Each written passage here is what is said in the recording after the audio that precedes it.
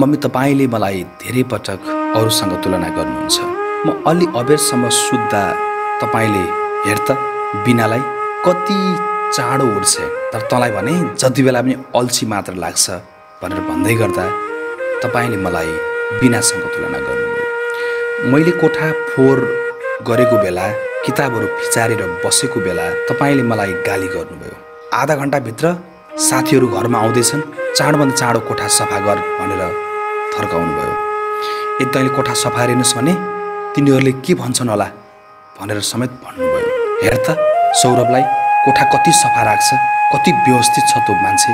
तर ड्याडी तपाईँलाई थाहा छ सौरभ एकदमै व्यवस्थित छ। त्यो हुनुमा उसको ड्याडीको ठुलो हात छ।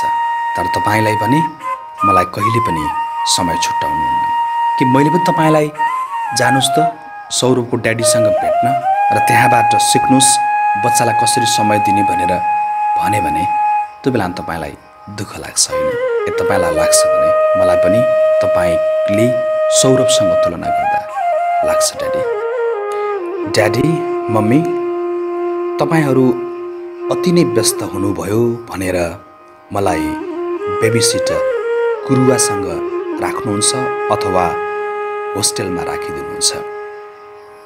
ड्याडी मम्मी तपाईँलाई थाहा छ यसले गर्दा तपाईँहरूप्रतिको मेरो माया प्रेम र स्नेहबाट म सधैँ सधैँका लागि टाढा हुँदैछु। ड्याडी मम्मी तपाईँहरूलाई बुढो भइसकेपछि केयर होम अथवा आश्रममा लगेर राखिदिँदा तपाईँलाई कतिको दुःख लाग्छ? जति दुःख लाग्छ त्यति दुःख तपाईँहरूले मलाई होस्टेलमा राख्दा हुन्छ। मलाई तपाईँहरू सधैँ उपद्रो गर्ने भनेर सबैलाई कुरा सुनाउनुहुन्छ। साँच्चै भन्ने हो भने तपाईँले मलाई समय नदिएको कारण म उपद्रो गर्नु पुग्छु।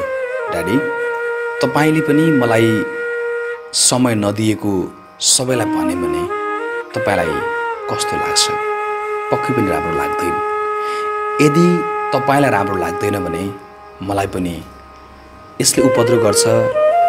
यो त खत्तम छ भनेर सबैलाई सुनाउँदै गर्दा मेरो पनि मन रुन्छ। ड्याडी मेरो पनि मन रुन्छ। मैले होमवर्क गर्न अल्छी गरेँ भने तपाईँहरूले मलाई गाली गर्नुहुन्छ। तर मम्मी तपाईँलाई जब अल्छी लाग्छ मलाई गाडीमा राखेर खाना खुवाउन रेस्टुरेन्ट लानुहुन्छ।